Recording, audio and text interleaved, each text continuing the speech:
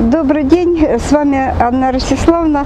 Хочу еще раз показать вам, э, как формируется, выращивается э, в штамбовой форме э, черноплодная рябина. Я немножко тянула здесь, хотела, чтобы хорошо вызрели почки. Здесь дело в том, что здесь уже есть прививка, но я хочу сделать еще одну. Э, Штамп здесь, как видите, вот видно, рябина обыкновенная во всей ее прелести. Э, И здесь даже не одна, а две рябины. Я их специально так э, посадила рядом, чтобы иметь возможность, ну, как-то сплести, сделать что-то более оригинальное, чем просто обычное деревце. Э, Хотя у меня их было всего две, вот так получилось просто обернуть э, одну вокруг другой. Э, Можно, конечно, и более интересную форму, если их больше вырастет, то есть э, по двое нужно больше вырастить, тогда можно сформировать еще какую-то более оригинальную форму. Ну, здесь, поскольку у меня вот была одна такая, а потом я с ней, к ней подсадила вторую. Э, Я использую вот эту веточку, вот одна у меня уже есть здесь, это прививка прижившаяся, прошлогодняя, вот она видно на каком уровне была. Но эту веточку я теперь могу использовать в качестве черенка, боковую веточку. Вот мы ее сейчас э, срежем. И я сделаю следующую прививку чуть выше. Здесь э, уровень вот этих кустов. Я хочу так, чтобы прививка немножко возвышала, потому что вот эта прививка оказалась низковата для этого места. Э, хочу немножко сделать выше, чтобы она так возвышалась потом в будущем. Ну и скажу отдельно, видно, вот тут есть веточки на подвое, Э, рябина обыкновенная, она вон э, до самого низу обросла ветками, конечно, это все нужно будет потом срезать, э, вот, но сделаем мы это уже весной когда э, нужно будет, чтобы проснулась наша вот сегодняшняя прививка. Тогда все срежем. А сейчас эти листья нужны, потому что растение готовится к зимовке, накапливает достаточно, чтобы было достаточно пластических веществ для перезимовки. И ни в коем случае не ослабить, не ослабить корневую систему. Листья, ну, общая листовая поверхность. У растения э, все равно, будут это такие листья или такие, но э, должно накопиться достаточно пластических веществ и для нормальной перезимовки, и для старта весеннего. Вот тогда, когда нужно будет стартануть и отрастать, листья еще молодые, не функциональные, а за счет чего они отрастают? За счет внутренних резервов. Вот эти резервы, они должны накопиться. Поэтому до самого последнего момента э, листья мы все оставляем. Э, для того, чтобы, ну, для собственного удобства, вот только то место, где мы будем делать прививку, вот там можно несколько листиков для себя любимого оторвать, просто чтобы нам ничего не мешало, вот, чтобы подход был к этому месту. Все остальное оставляем.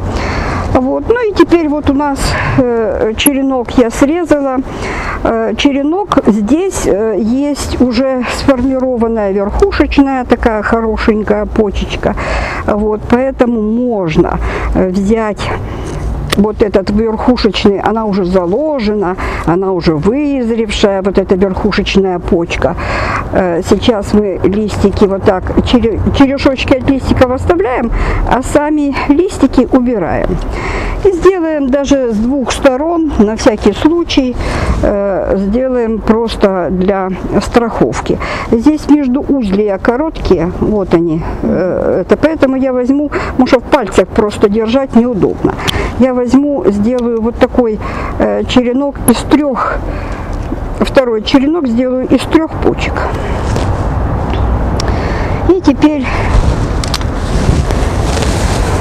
берем нож, берем нашу обвязку. Сейчас я приготовлю, чтобы все было под рукой. Вот.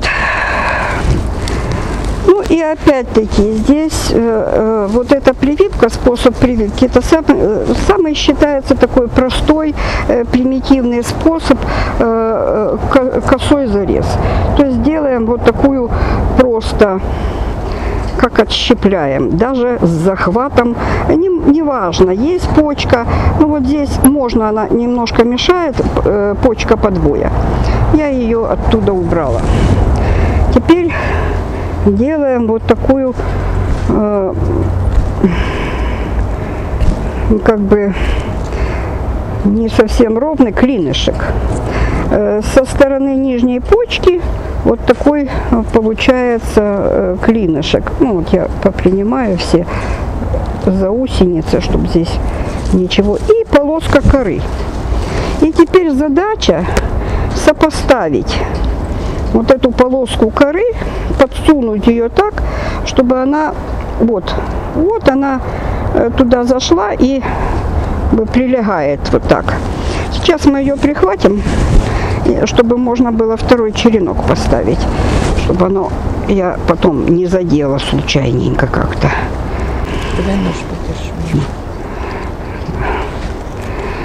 О, сейчас мы прихватим вот так его, чтобы оно держалось, никуда не делось у нас.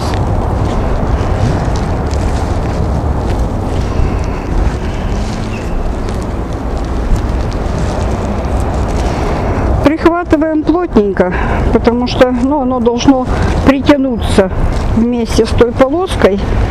Я так еще, о, чтобы оно плотно держалось.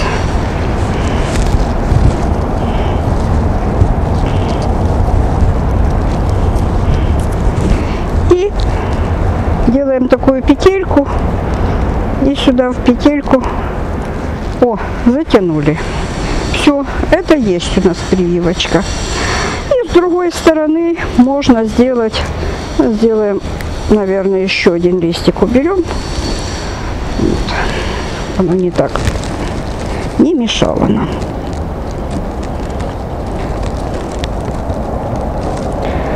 Вот, и сделаем еще одну с другой стороны. Ну, поскольку, опять-таки, междуузлия очень маленькие, то я дам больше почек. Но на самом деле это только для моего удобства. Практически э, достаточно даже одной почки. Вот, но уж очень маленький черенок для запаса две. Вот. Но здесь черенок небольшой. Больших черенков не делайте, потому что э, площадь э, испарения большая а э, влага тратится какая? Та, которая внутри самого черенка. Получается, влаги-то он потянуть не может.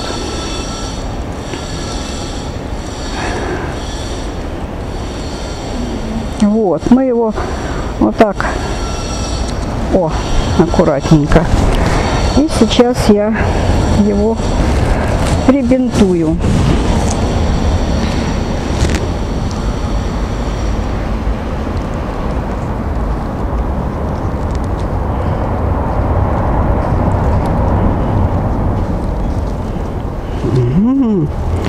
еще и сопротивляется.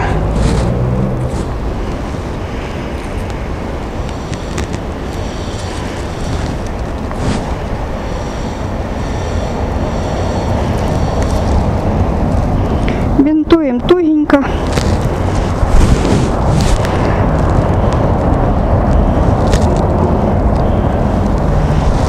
Чтобы хорошо притянуть.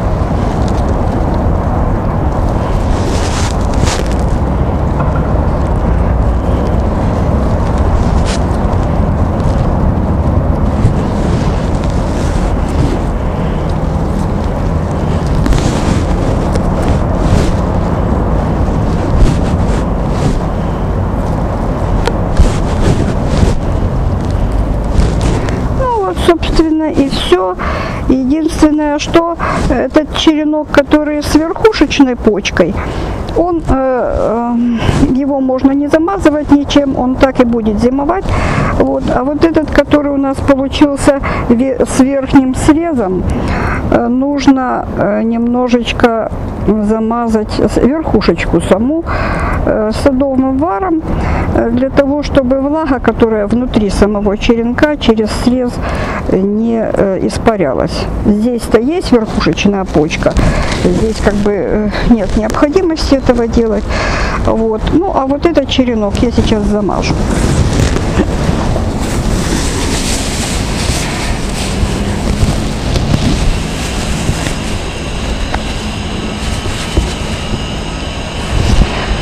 Буквально капля садового вара и это будет препятствовать испарению влаги э, из середины самого, э, вот так вот срезик сам. Не нужно мазать кругом где-то, это просто э, замазать срез, который открыт, э, чтобы немножко защитить от испарения влагу. Вот и все. И таким образом эта прививка у нас будет зимовать ну, недели через 2-3 э, ослабить необходимо обвязки для того, чтобы, э, когда утолщается, э, в осеннее время особенно интенсивно идет утолщение побегов, чтобы обвязка не мешала утолщению самих побегов, не врезалась в стволик. Вот таким образом оно у нас будет зимовать. Ну, а весной э, мы доснимем, как мы его обрежем, подформируем, э, ну и посмотрим, как оно прижилось, не прижилось. Уже к, этому, к тому моменту у нас все будет видно, э, вот, и тогда вам покажем. Успехов вам! Делайте сами. Э, Это занятие интересное. Выращивать всякие вот такие интересные формы. Выращивайте, э, делайте что-то сами интересное своими руками. До свидания. Будьте здоровы.